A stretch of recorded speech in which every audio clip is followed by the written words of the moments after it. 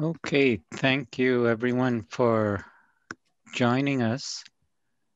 So uh, this is our second in this uh, kind of question and answer webinars. Uh, we have um, Sam Asirvatham, uh, Siva Mulpuru, Ammar Killu, and uh, uh, Chris Simone uh, just to work here as panelists to try to answer any questions that you have.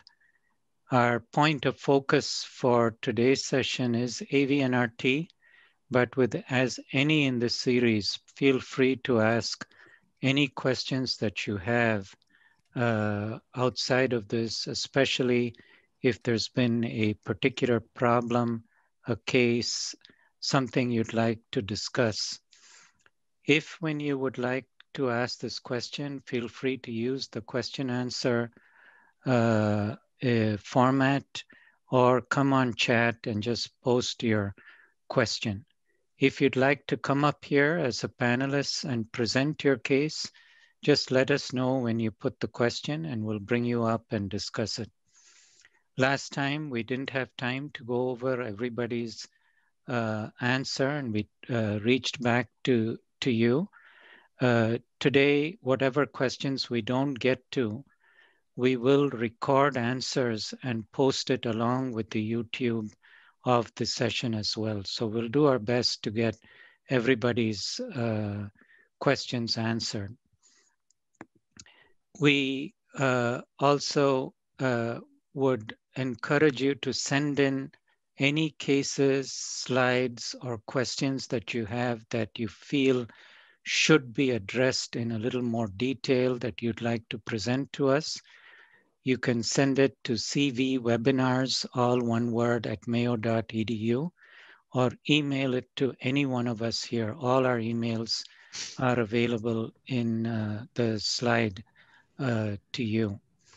So uh, maybe just to get things uh, started and spur some discussion, I'll spend about uh, five to 10 minutes kind of hitting some high points about AV node reentry that over the years have been the most common questions that come up when we have a referred case or a, a trainee asks a question or we ran into someone in the pre-pandemic days at a meeting and a question came up.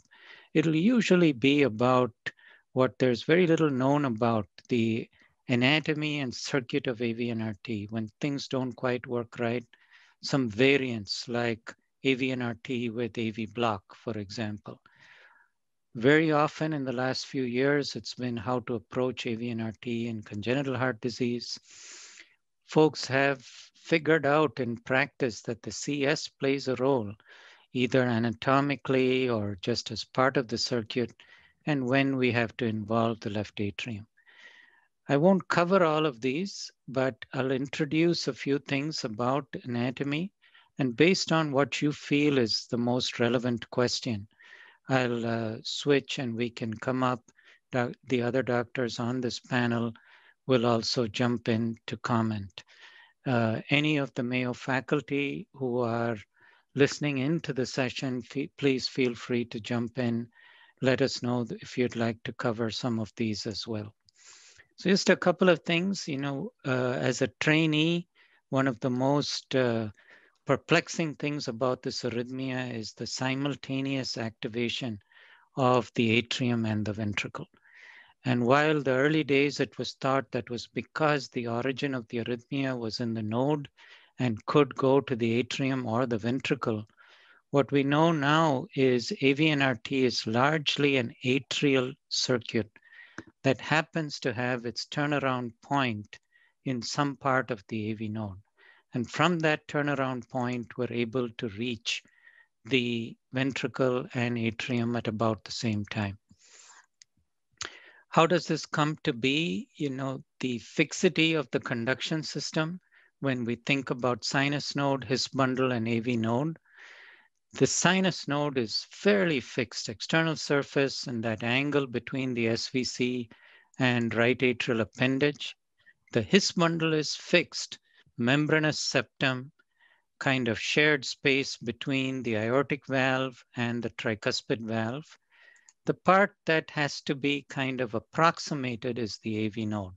And this is fundamental to understanding how to avoid problems with AVNRT ablation. And we approximate that in this border zone between the septal leaflet of the tricuspid valve, roof of the coronary sinus, and the tendon of Todaro, which for all intents and purposes can be visualized as the eustachian ridge just extending, extending up to the membranous septum where the His bundle will be uh, available, will be recorded.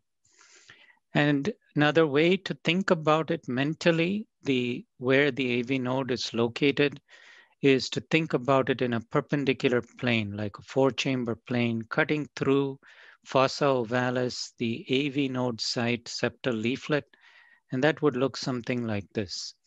And here we see the structure that we cut through is posterior and lower than the membranous septum where the His bundle is located, but in this atrioventricular septum.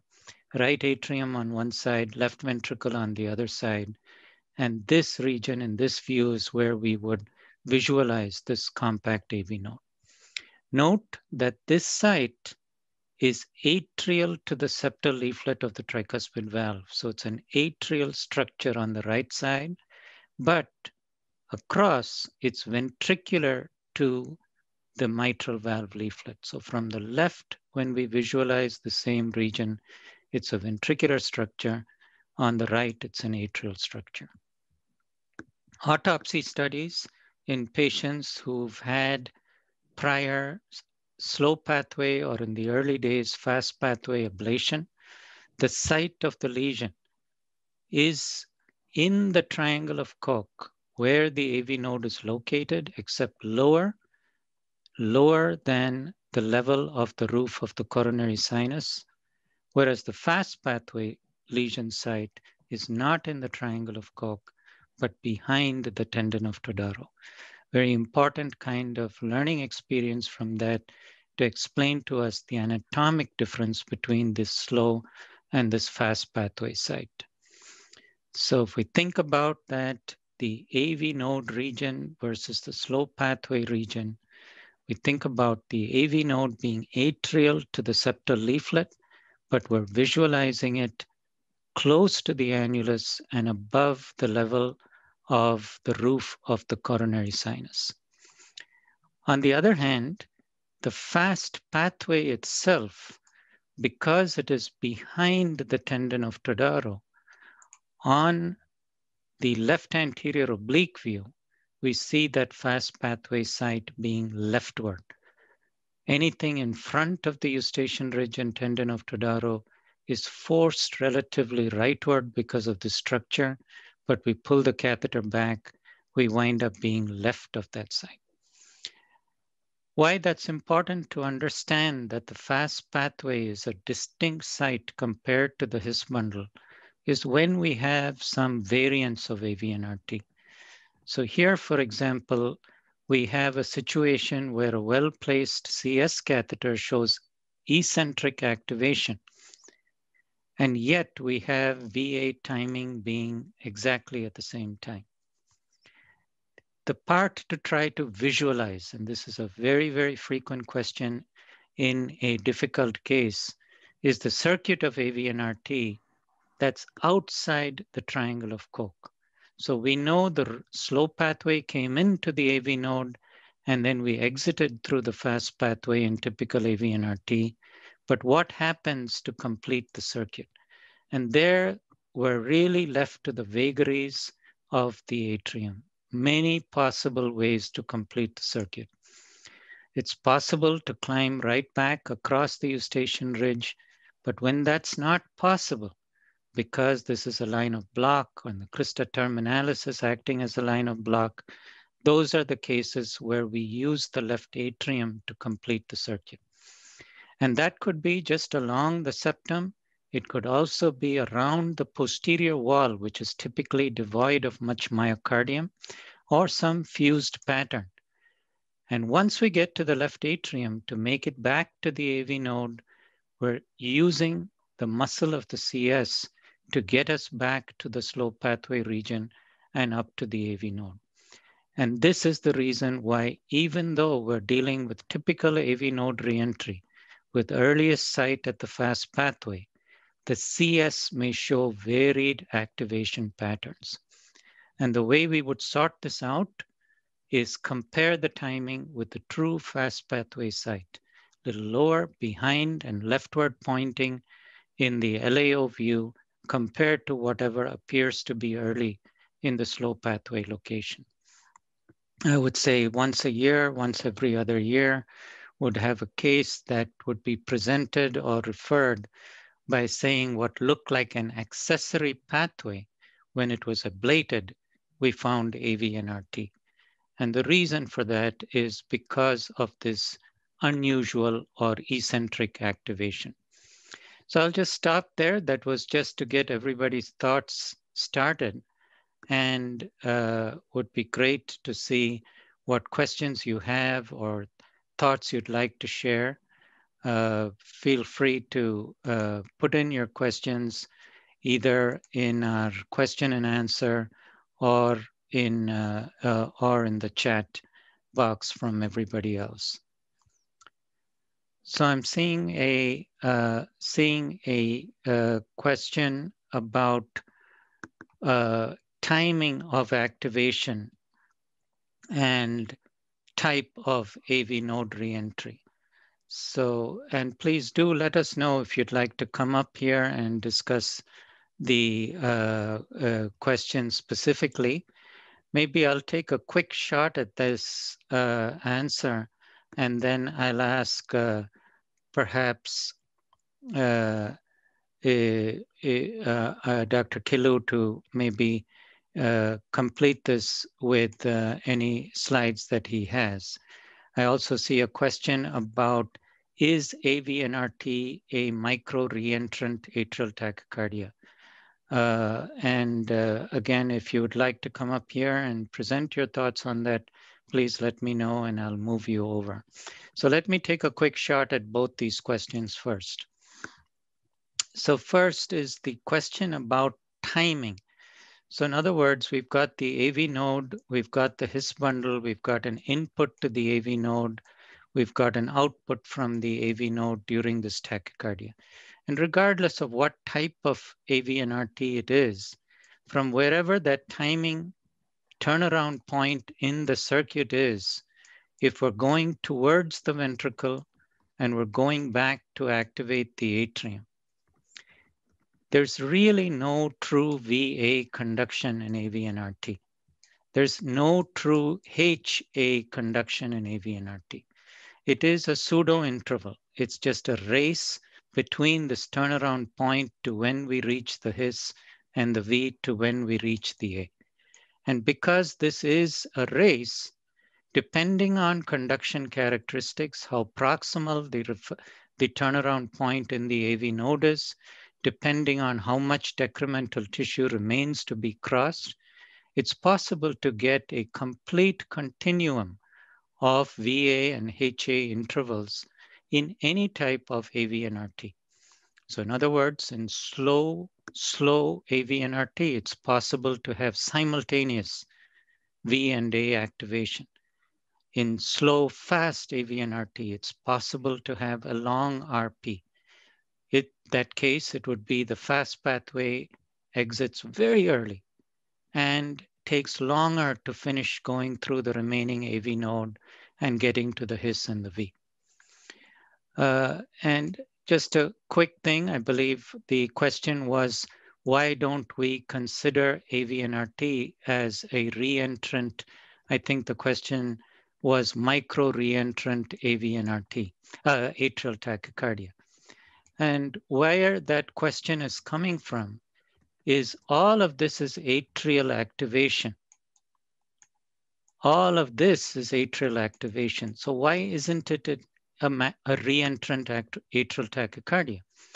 And in fact, you could consider AVNRT as a reentrant atrial tachycardia that just happens to use a portion of the AV node for the circuit. But unlike any other atrial tachycardia, the slow zone for this tachycardia is specifically AV nodal tissue. And that's why we distinguish this and call it AVNRT. Why not, why not micro reentrant? The reason is the remainder of the circuit does not have to be micro reentrant. It could be a very large circuit. Some types of AVNRT in some patients, we can entrain with concealed entrainment, the AVNRT from the left atrium, two to three centimeters away from the location of the AV node. So I, I, I hope that um, answers uh, your, your, your, your question. Anything that you'd like to add, Ammar or Siva?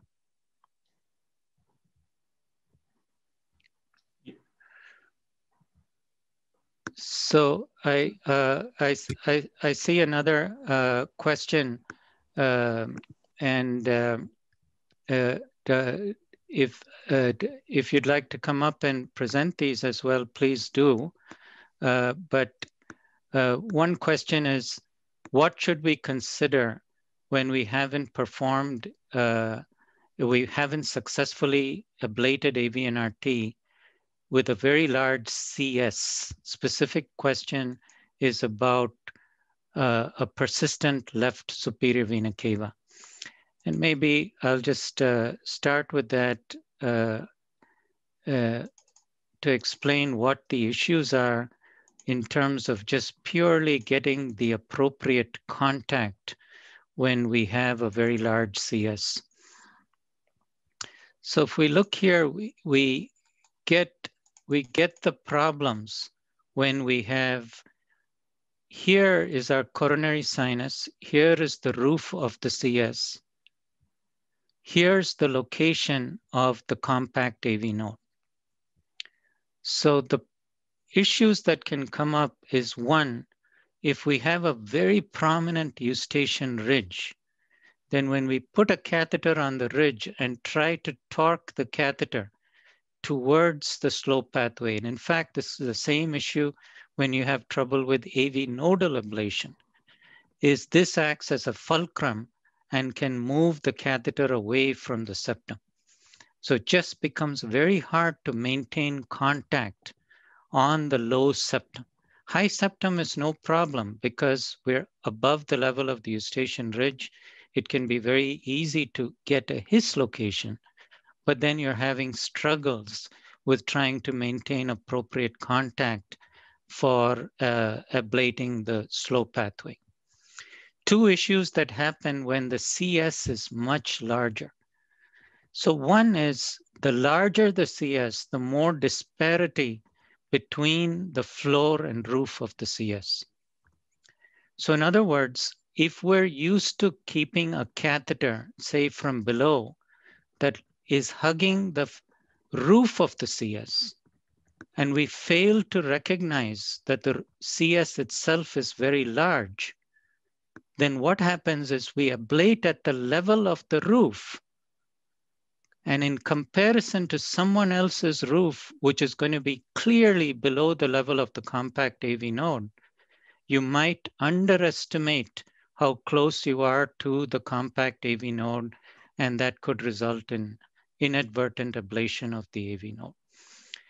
Now, the larger the CS, the more likely that we will have a prominent region between the eustachian ridge and the septum.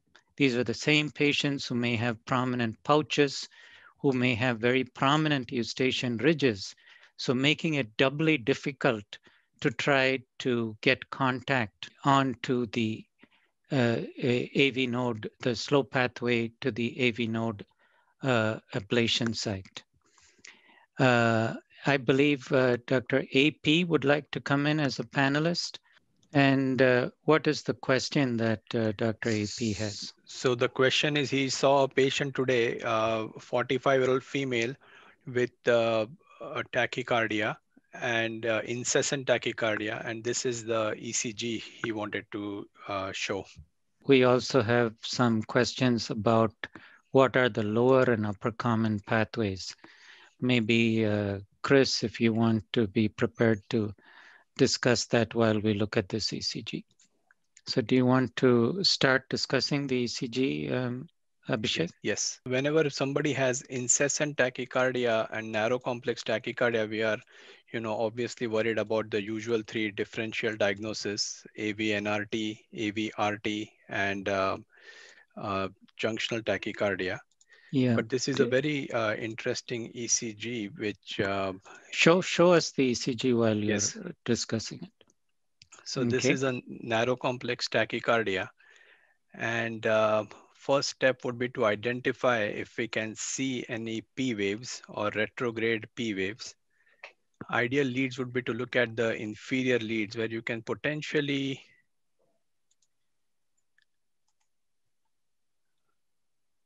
see some of these P waves.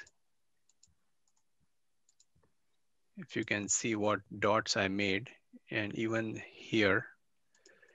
So it seems like a narrow complex tachycardia and the differential again based on this could be some form of AVNRT, AVRT or uh, atrial tachycardia, potentially even junctional tachycardia. Yeah, so so so Abhishek, I think the history I just saw uh, Dr. AP had put in here Mhm. is 45 year old palpitations throughout her life Mhm. got worse. I think here, uh, generally, you uh, if you're having paroxysmal palpitations all your life, you know it's not going to be permanent palpitations throughout their life because there's going to be cardiomyopathy. But paroxysmal palpitations that then become persistent, you know, paroxysmal palpitations that then become persistent you know the things I, we think about and maybe i'll just draw a quick picture here to explain that um, situation so and i'll also ask uh, dr cannon shortly to comment because we run run into this more commonly in the younger patient group so one scenario is a patient has a somewhat decremental retrograde accessory pathway and has normal AV nodal conduction. So the patient is able to get tachycardia, manages okay, once in a while gets symptoms, does okay with the beta blocker. When they get older, AV node conduction gets worse, and the pathway characteristics may also slow. They'll relatively slow conduction. So now what was a paroxysmal tachycardia gets induced even with sinus arrhythmia, any old PV, PAC, and becomes incessant. So that's one that we we definitely think about. Another uh, uh, another one that uh, you know when you have one is to one conduction, narrow complex, shortish AV node, uh, AV uh, uh, conduction times, VA conduction times, is AVNRT that has more than one slow pathway. So what happens here probably is they have, say, typical slow fast AVNRT, paroxysmal, rapid, comes and goes, comes and goes.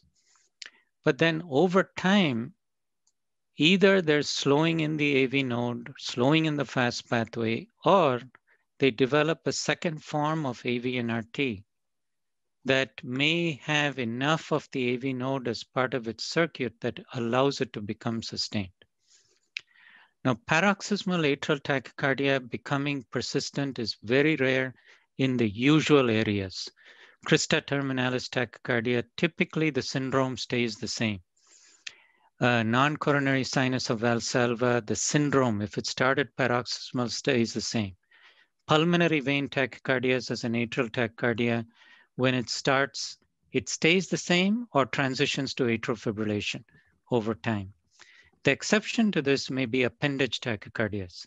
So appendage tachycardias in the young uh, tend to tend to start off uh, being uh, paroxysmal, and then over time they tend to uh, become a persistent type of tachycardia.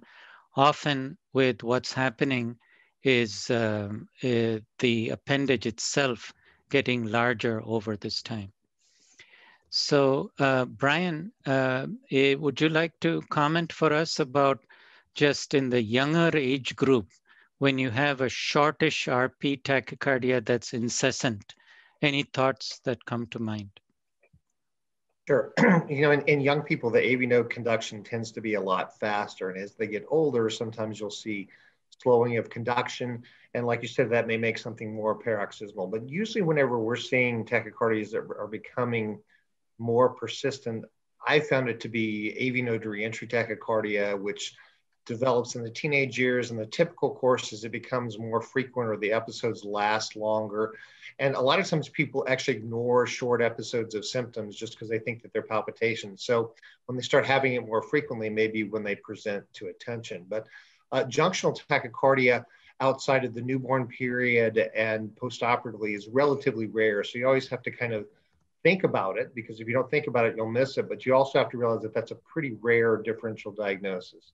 Another thing is if you have atrial tachycardias that are coming very close to the AV node, that will appear to be a short RP tachycardia just because it's so incredibly close to the AV node. So I think you have to think about all these things as you move forward. Thank, thanks a lot. Thanks a lot, Bryan. Chris, would you like to take a early shot? And I see several other questions uh, coming up. Uh, if any of the any of the folks, any Mayo faculty would like to answer, that's great. Chris, there's a question about uh, upper common, lower common pathways. And uh, some folks are asking, where are they? Others are asking, is it, do, is this even real? Would you like to make a comment? And I'd be happy to share some pictures as well. Sure. I'm trying to bring up this one amazing picture you have to kind of try to get that it's kind of the title says AV dissociation, AV NRT. So uh, really, yeah. you know, I've heard of these things, this upper common pathway and this lower common pathway, but to me, I don't know so much if I'd characterize them as a pathway, but I always think of it as somewhat as having some tissue that's outside of the AV NRT circuit. Upper common is between that and somewhere in the atrial tissue lower common pathway being somewhere between the circuit and the His. But again, I don't know, and, and you'll have much better insight about what you want to call this pathway per se, or if it's just tissue. I've clearly seen in the lab AVNRT, and you'll see this uh, lower common pathway block and then you keep watching it and then all of a sudden it goes one to one i've seen that plenty of times. I but i just don't know I, if i'm con- con- convinced about an actual pathway. Well let's let's uh, i think this is what you were alluding to chris. Yeah. So if we if we look these are the cases that we wind up asking the question about common pathways. So you know sometimes you see this so you have atrial activation, which is twice as frequent as ventricular activation. And yet at other times, the same sequence, the same timing, when there is a V and an A, you can prove beyond doubt it is AVNRT, and you succeed by ablating the slow pathway input to the AV node. So how does this happen? The second, which is uh, a lot harder to explain, is exact same scenario. If you take beats where there's equal V and A, and when the tachycardia has equal V and A, it's AVNRT, but sometimes more V than A. So this has brought in this kind of question about, you know, common pathway. So first of all, when we think about common parts of the circuit with AVNRT, the AV distal AV node, His bundle are always common parts of the circuit. In other words, you can have the circuit keep going on even if we didn't have those structures. So here's what I mean by that uh, in uh, a diagrammatic form. So if we have here AV node we have one input to the AV node, we have a turnaround and we come out. So if we think between the circuit and the ventricle, all of this is a common limb.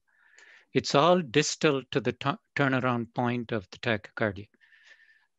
But what we mean specifically when we say common pathway is even before we reach any part of the AV node, we have one input and we have the output that then reaches the AV node through like a common stalk.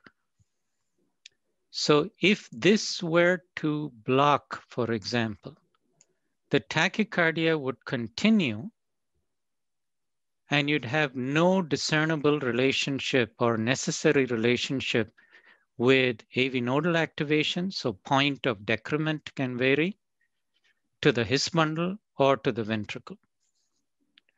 So this would be what the construct at least of like a lower common pathway. So these patients sometimes in the early days before this entity was thought of would be, I had a case of typical AVNRT or atypical AVNRT. And then after ablation, patient comes up with an atrial tachycardia. And guess what? I wound up ablating it very similar to how we ablate the slow pathway. Now, this of course does not explain how you can get more V than A. And for that, we'll have to kind of uh, go back to the figure that uh, we had looked at in uh, terms of the circuit of AVNRT. So here, if this is where we have the compact AV node, we have the inputs to the AV node here, say slow pathway, say left side slow pathway, any input to the AV node, and output behind the tendon of Todaro. If that output wasn't behind the tendon of Todaro, and rather could complete the circuit in this region itself, then the way you are getting to the rest of the heart is through the usual exit of the fast pathway, but that exit itself is not essential for the tachycardia circuit. So if we were to get block at that site, the tachycardia can continue, go down the His and to the V, but doesn't get to this uh, rest of the atrium. So how do we know if such things actually uh, exist? I mean, one of the questioners asked, is this even real? Part of it is it's just difficult to come up with any kind of explanation for those phenomena.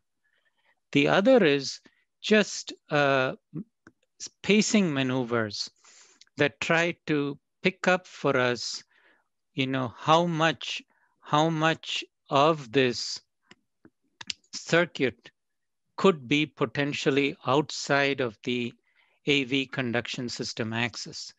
And if we use that kind of construct, then comparing the time it takes from when you record the His to the A anyway, anywhere, when we pace the ventricle versus tachycardia, how much difference would exist between these two intervals gives us an idea of how early is the turnaround back to the atrium. And if the difference is huge, that turnaround is very proximal, making you think that it turned back to the atrium even before you reach the AV node. In other words, there is some kind of common stalk or common pathway that's uh, uh, part of this uh, par part of this circuit. Now, there's a question uh, I see about um, from Dr. Mao about what are the signs during early RF energy that could be harmful and that we're not actually targeting the slow pathway. And I see also another question about what is the potential uh, downsides or harm with empiric, I think what it's meant is empiric slow pathway ablation.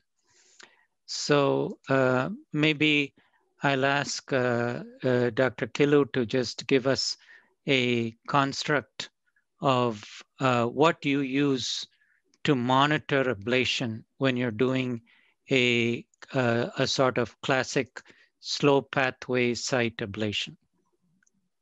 So um, with slow pathway ablation, obviously the, one of the concerns with AVNRT is we want to avoid AV block, right? So uh, the approach I think is important.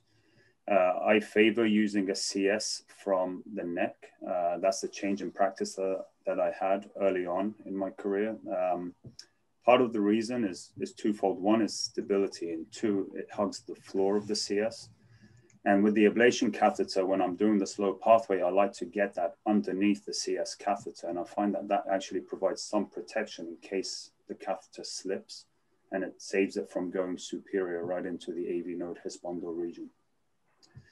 The other thing, uh, once I'm doing the slow pathway is I usually start very low and, and I'll go slow. So the approach I take is I'll use a lower power and I'll gradually up titrate it and I'll be watching for any prolongation in the AH interval. So I actually will set the calipers on the AH, make sure I have a very stable reference.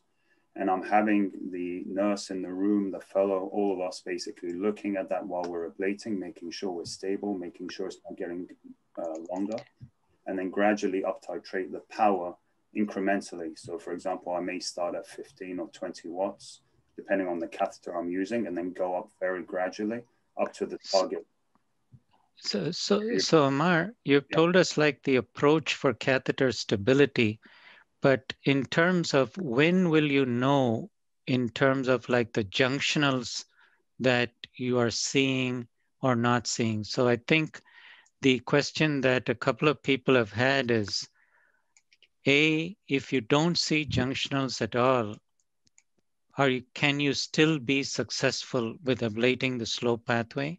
And what are the early clues that we're running into trouble, that we might be having uh, potential for AV block? So, so yeah. Oh, no. So uh, yes, you, to answer your first question, yes, you can be successful without seeing junctionals. Um, you know, and if you do a very low line, you may not see any junctionals, but I've certainly had cases where we've eliminated AVNRT by doing that. And uh, I favor a linear line from the uh, leaflet, tricuspid leaflet back to the uh, anterior lip of the CS. But yes, you can be successful without necessarily seeing junctionals. So I guess one way, I guess I could use this picture to demonstrate this.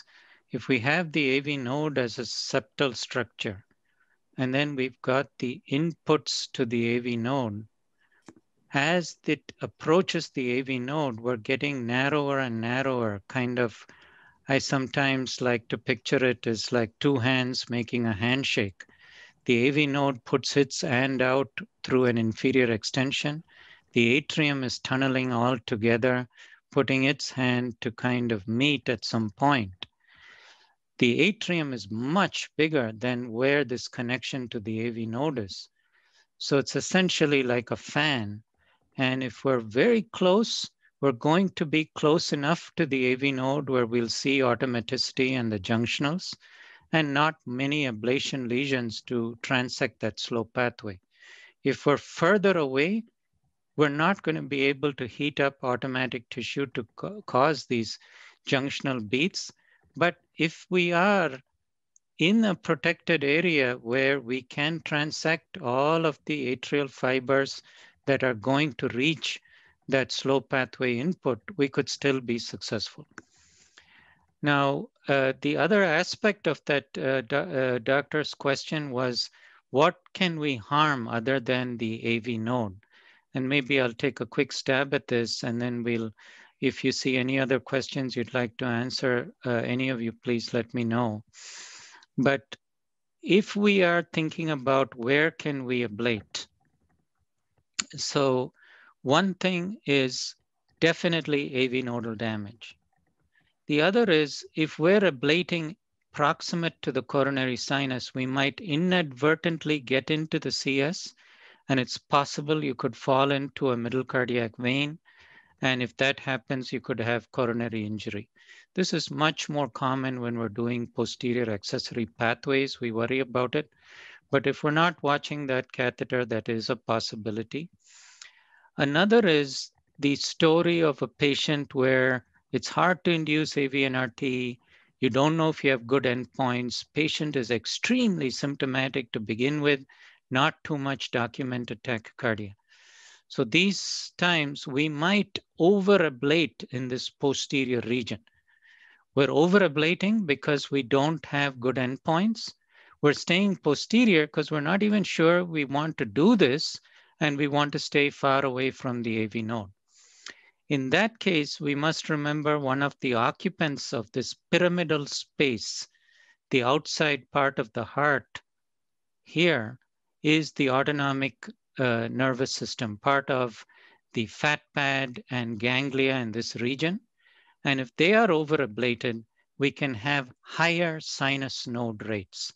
So these patients could develop, if they didn't already have, a syndrome like uh, inappropriate sinus tachycardia. Now, um, uh, uh, any of you have seen any other question that we'd like to look at? If Dr. not, Singh. Uh, yes, Dr. yes, Siva. Dr. Singh has a question on you know how to approach slow pathway ablation when the patient has two to one, to one for two response during the diagnostic part of the procedure.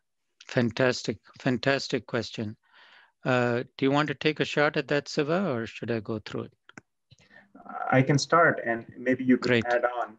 So sure. first of all, during AVNRT procedures, you know, we try not to ablate during tachycardia. It's very difficult to, um, to separate junctional beats compared to tachycardia when the patient is going fast. So if the diagnosis is confirmed to, to be AV node reentry, try to do the ablation when the patient is in sinus rhythm, so where you can observe for these slow junctional beats with one-to-one response to the atrium. Yeah, so this is, I think this is just a great question and it's very, very common uh, issue. And I'll just generically kind of uh, try to answer. So one is when you have this weird types of AVNRT, not weird because the slow pathway is in some unusual location, but the physiology behavior of the AVNRT is unusual. How do we monitor? So one of the issues is if you have more A than V or more V than A, then our classic maneuvers to diagnose AVNRT are not helpful. Our classic maneuver to diagnose AVNRT is you put in a PVC and only by advancing the retrograde His, you're able to advance the retrograde A without a change in activation sequence and reset the tachycardia. But you can't do that when the numbers of A's and V's have no good relationship with each other. So the simplest and most practical way to answer this question is just sit tight and wait. Nobody always has VA dissociation or interval changes during AVNRT. You will see with some change in autonomic tone, putting in a PVC, putting in a PAC, where they'll have one-to-one -one conduction. And when they have one-to-one -one conduction, you can make the diagnosis on familiar grounds. Your usual ways to establish the diagnosis will still be operative. But if there is a case where it stays with more A than V, for example, then we can still define this arrhythmia as AVNRT by using the construct that whatever it is, the circuit of AVNRT, the inputs to the AV node near the AV node are necessary for this tachycardia. The, even when we have more V than A, the A in front of the tendon of Todaro close to the AV node are still required for this tachycardia. It is a tachycardia that uses some, but not necessarily all atrial myocardium.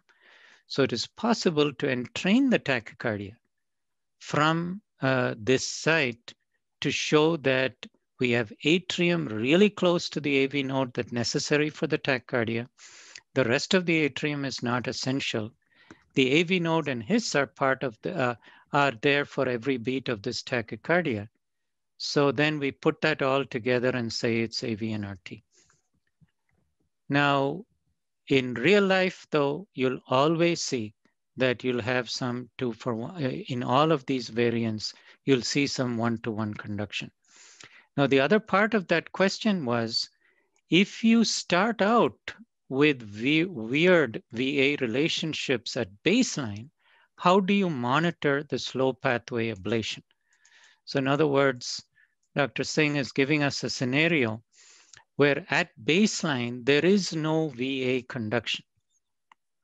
We know that even if there's no VA conduction, there's no HA conduction at baseline, you can still get AVNRT because the place where the V to A, the pathway that's being taken, is not entirely shared by the turnaround site from AVNRT. So all of us have observed this at some time or the other. The problem is when we're monitoring for slow pathway ablation, the junctionals that are seen may not show a retrograde A. Now, this is usually something that gives us a minor heart attack when we see a junctional without A.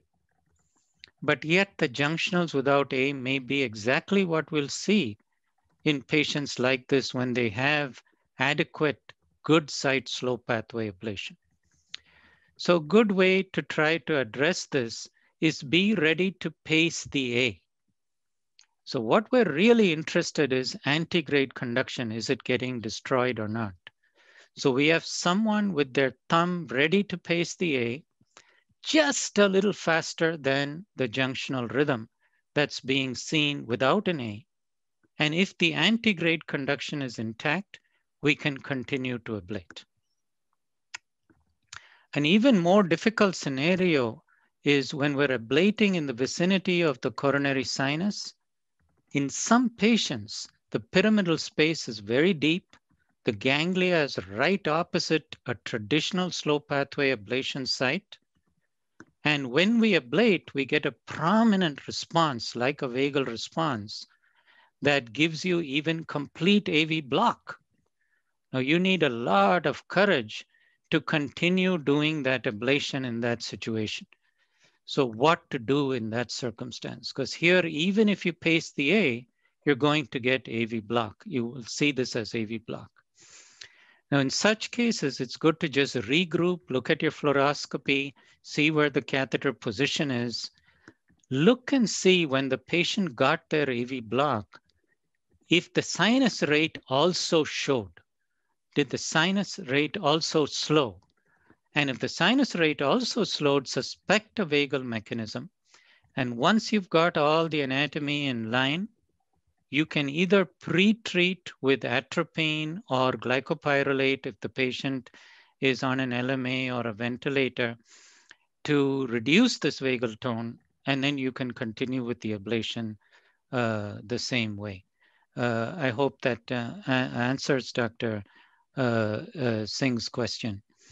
Any others that any of you have seen that you feel we should uh, in this last 10 minutes? And we will definitely get to all the other questions in a separate session that will be part of this YouTube link when we uh, go through this as, uh, go through this as well. Sam, one question. oh, go ahead. I'm sorry. I can't hear you well, uh, Siva. Can you hear me now? Uh, yes. Okay. So one theme that uh, a lot of people are asking. Or... Oh, it's it's difficult to hear you, Siva. Maybe I will just go to Ammar for this one.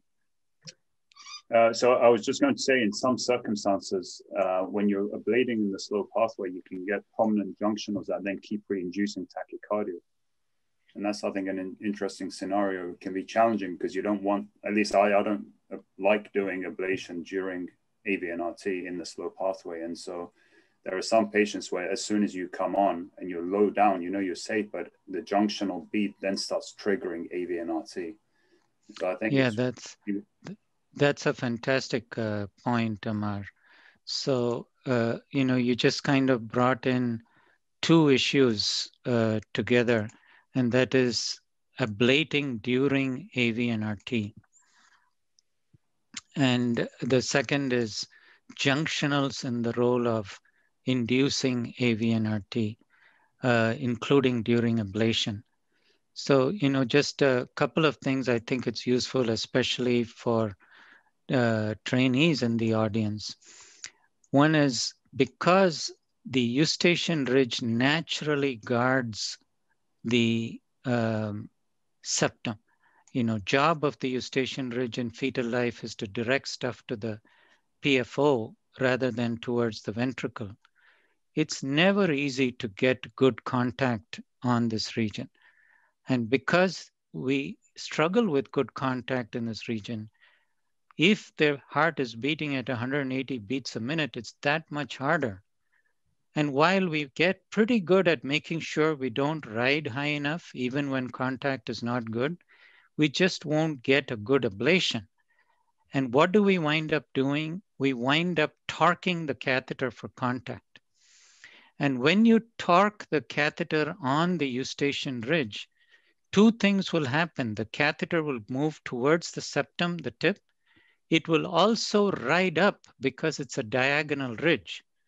So when it rides up, you're going to maximize your contact exactly where we don't want to maximize contact. So we really try to avoid uh, ablating during AVNRT.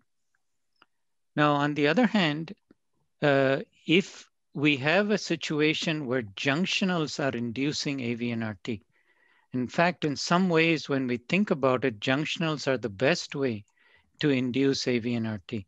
Because from the junction, you have absolutely coming out through the exit, the fast pathway.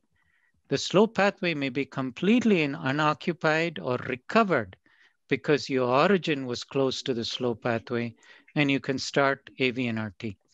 Unlike a PAC that has to tease out the differences between refractoriness of the fast and the slow pathway, junctionals are a good way to start tachycardia.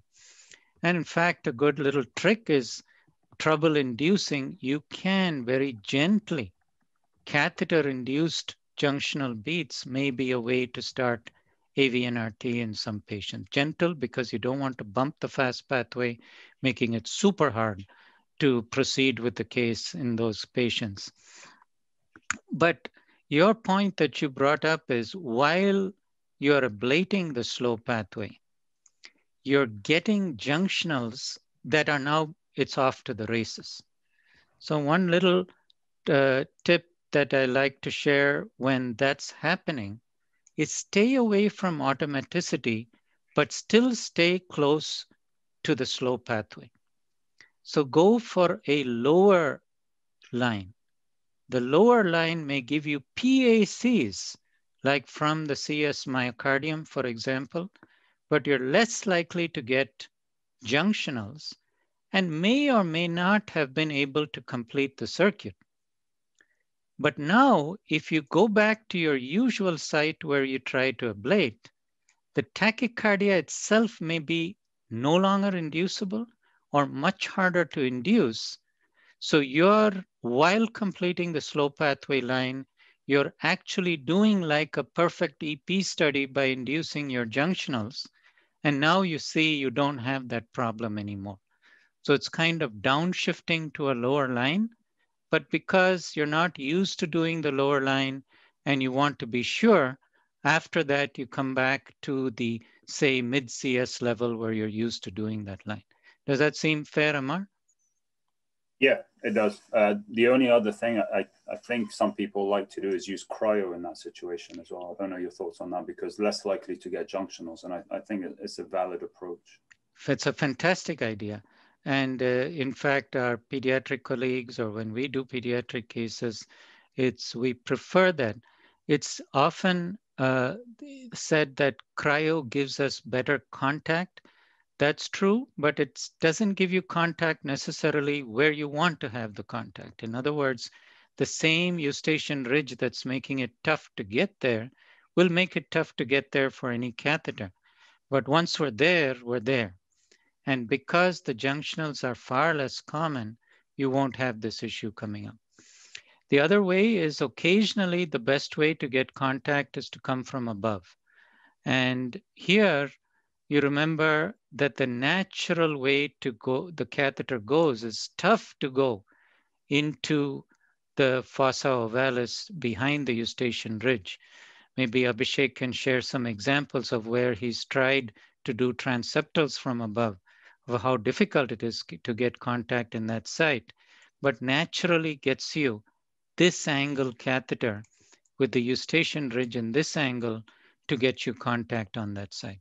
So cryo, doing this double line, getting to that location uh, from above may all be ways to, uh, to try to solve this problem. I see some other fantastic questions about, you know, the left inferior extension and then um, uh, should you come off when you have fast junctional beats? Since we're out of time, what we'll do is our panelists will answer these questions and we'll put it as an addendum to the discussion place for uh, when we post this recording on, on YouTube. Um, anything you'd like to add, Russell? And thanks a lot for your help with putting this, uh, put this, putting this all together. And I, think, I think we're good. Great, great. Thank you everyone for, for joining us.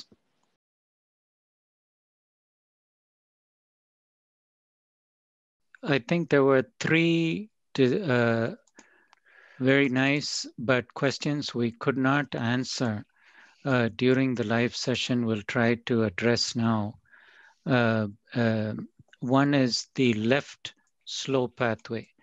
Uh, there were a couple questions. One is about its existence and where is it? When do you ablate? How do you know where it is?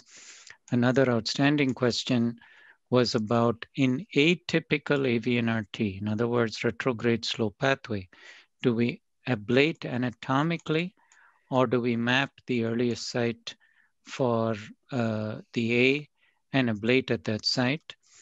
And another very nice question about the slow pathway potential. What is it and can we use this to guide ablation in cases where there's unusual physiology or unusual anatomy. So Abhishek, if you'd like to start on this slow path, left side slow pathway, and I'll uh, find us some uh, slides that we can potentially use as an adjunct to, uh, to your discussion as well. Great. So certainly the left-sided slow pathways uh, it becomes an important uh, entity when we start to look at tachycardia and the retrograde activation is earliest in somewhere in the coronary sinus and not on the fast pathway location. So at least we know based on that, that the retrograde limb is the uh, slow pathway left-sided inferior extension. Generally, they exist about two to four centimeter into the CS on the roof of the coronary sinus. So when you get into the coronary sinus, not immediately at the roof at, of the coronary sinus, very proximally, you will also could ablate the AV node. So you don't want to ablate there. But as you advance the catheter in more in about two to four centimeter in and confirm it on the LAO view that you are more distal here, you, those would be the targets where those would be the a location where you would potentially ablate the left-sided slow pathway or the left inferior extension, what we uh, call. Then there's hmm. another in, inferior left-sided extension, which is even further in, that is extremely rare, and that also can be uh, ablated from the coronary sinus. There was another question whether to ablate it through the coronary sinus or to do a transeptal and ablate it. I think both approaches are reasonable. I think, you know, sometimes if you're unable to ablate from the coronary sinus or if you feel that the local electrogram is not changing or the impedance is starting to get too high in this location, then certainly a transeptal approach can be performed so that you can target the same area, um, uh, uh, uh, same location from the left atrium. But the key thing is that you have to ablate two to four centimeter inside the CS and not ablate very, very proximally because there's going to be a very high risk of ablating the AV node and complete heart block if you ablate too proximally. Great. And maybe I'll add to that uh, here, Abhishek. Um, I'll share my screen now. And um, if we go to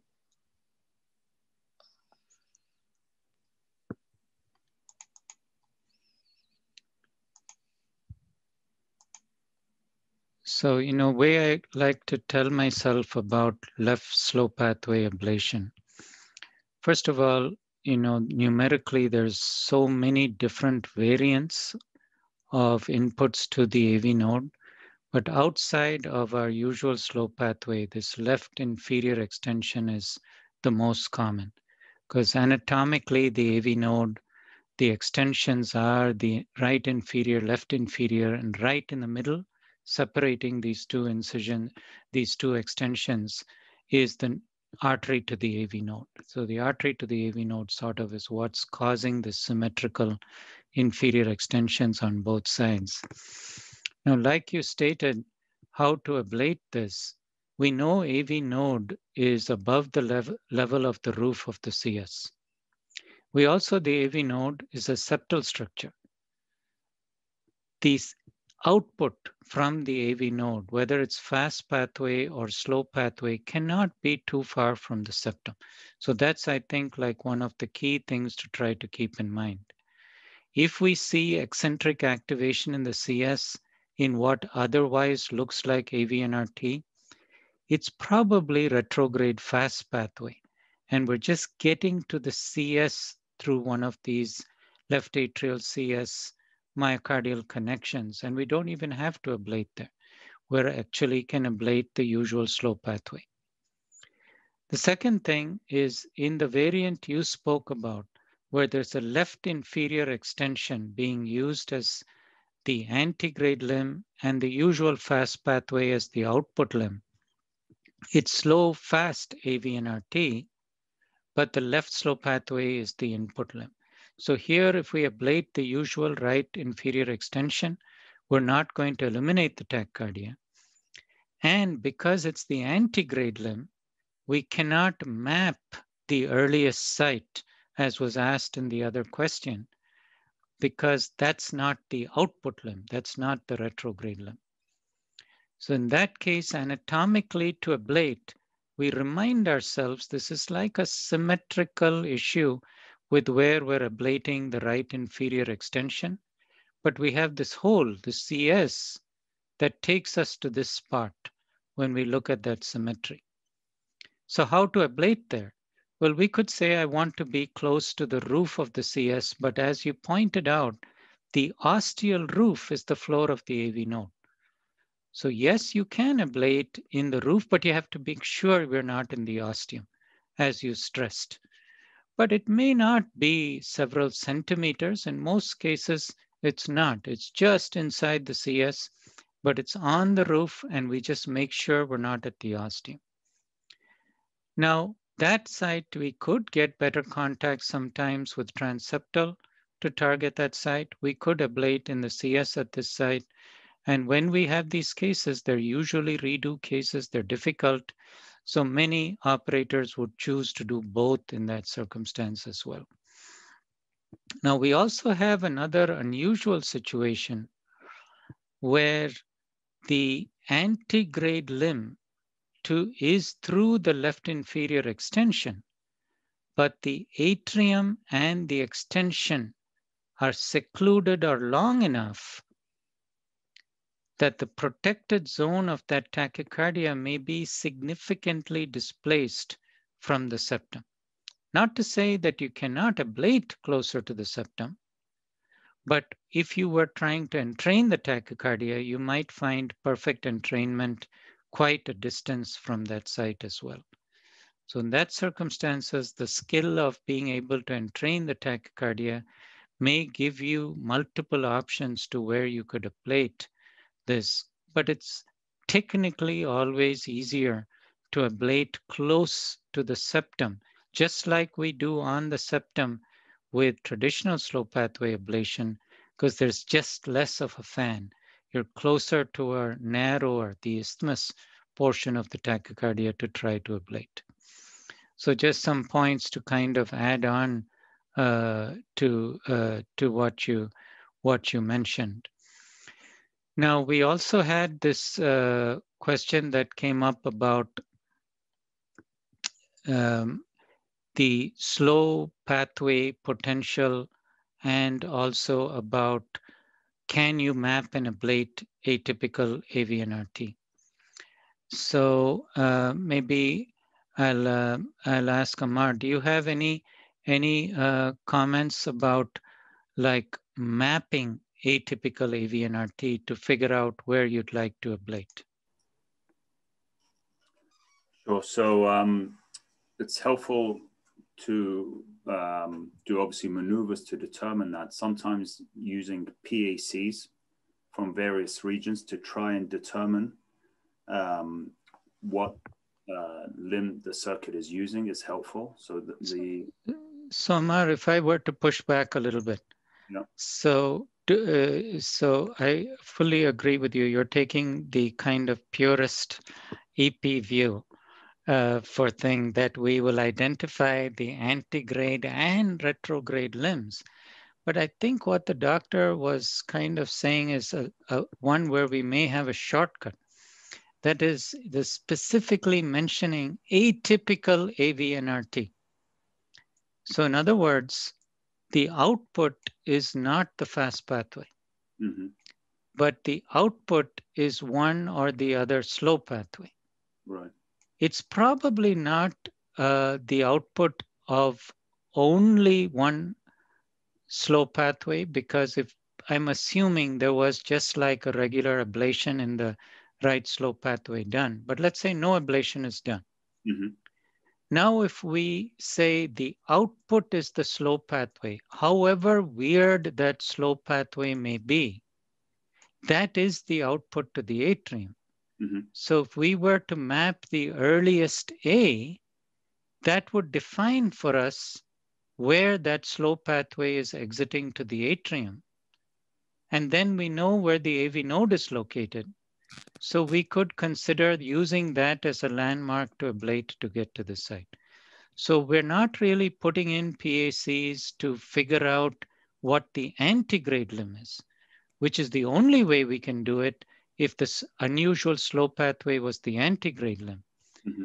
But by our usual definition, we're saying atypical AVNRT, what was mentioned in the question, then the slow pathway is the retrograde limb. So then can we just map it and ablate? And you'd have to say that, you know, it's probably the most common approach, isn't it? We, if we have a retrograde slow pathway, the two most common approaches in practice are anatomically ablate the pathway we know to ablate and hope it's gone, or we map the retrograde early A to tell us which slow pathway is operative. We knew it was retrograde slow pathway because retrograde fast pathway was late in this tachycardia. So what is early, then we could map and ablate in that site. Is that fair, do you think? That's fair, yeah. You could do that for sure. Yeah. Now, what about this slow pathway uh, potential? Maybe we'll spend four or five minutes to kind of uh, discuss uh, what we feel is utility in that slow pathway. So question, I think it was two people, but this thing about can you map and ablate the slow pathway based on the slow pathway uh, potential. Maybe just because of uh, time, let me take a quick, quick shot at this to kind of uh, uh, to discuss it. If we think about this idea of why is the potential where we ablate slow pathway complex, and why is there so much controversy about the slow pathway potential? So how did this come to be? So natural question in the 90s, or mid 90s was, let me look at all my cases where I got successful junctionals and I couldn't induce AVNRT versus where I didn't get junctionals, or even if I got junctionals, I was not successful in ablating AVNRT. Then go back before you ablated to see what the signal at that site with contact looks like and see if we could find differentiators. In other words, if we had the catheter here, kind of mid-CS, traditional slow pathway site, how is that different between any other site in the atrium? And what was found is almost always you'd find in sinus rhythm a signal that sort of looks like this.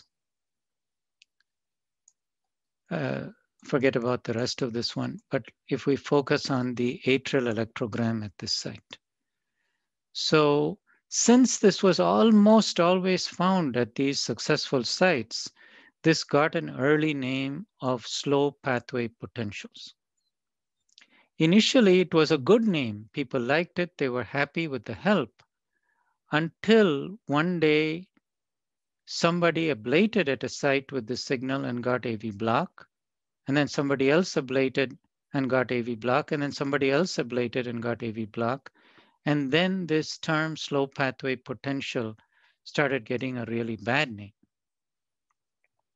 So how to kind of tie that together is to try to appreciate the reason why this potential in a location like here is different. It's because of the tendon of Todaro and the eustachian ridge. So from the sinus node, we very quickly can reach the myocardium behind the tendon of Todaro, like fast pathway entrance site. But to cross the eustachian ridge or skirt around the eustachian ridge, to activate the myocardium in the triangle of Koch takes longer time. So as a result, the signal becomes complex.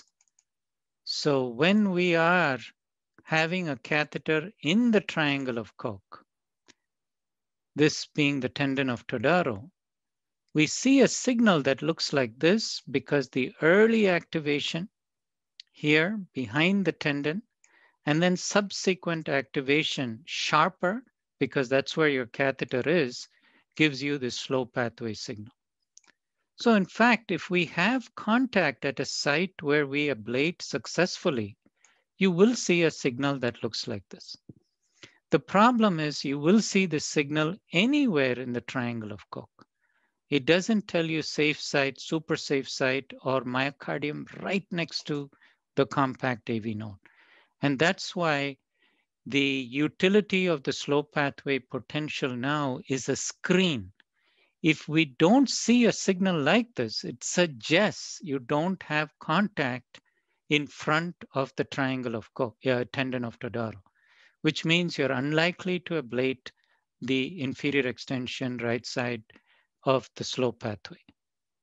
But because you see it doesn't mean it's a good site we still have to anatomically locate the catheter site, see with relation to the roof of the CS how far away we are from where we, the triangle is located, and pick our site to ablate in that location. So it's kind of a almost necessary, but not a marker for knowing that we are at a good location to ablate. Now, maybe I'll just spend one minute to say what happens to the signal during tachycardia. So the same site if we're ablating, and if we have tachycardia and it's typical AVNRT, we still are activating behind the tendon of Todaro before the triangle of Koch region itself. So the quality of this signal stays the same on the other hand, if it's atypical AVNRT with right slow pathway being early, then this sharp signal is going to come earlier because that's the tissue that's activated first. And that will be your early site that you could have found out where to ablate if you map the early location as well. If it is a left inferior extension, then we'll see neither of these patterns but it now becomes a pseudo interval to both these locations and the, you have a different interval. It's not early and it's not similar to sinus rhythm. That gives you a clue that maybe I can continue to map and find our earlier site. So maybe we'll we'll stop there. Thanks for staying along, and uh, we'll uh, if any of if any of you have a comment, please go ahead and make it. If not, we'll add this along to uh, complete our question and answer session.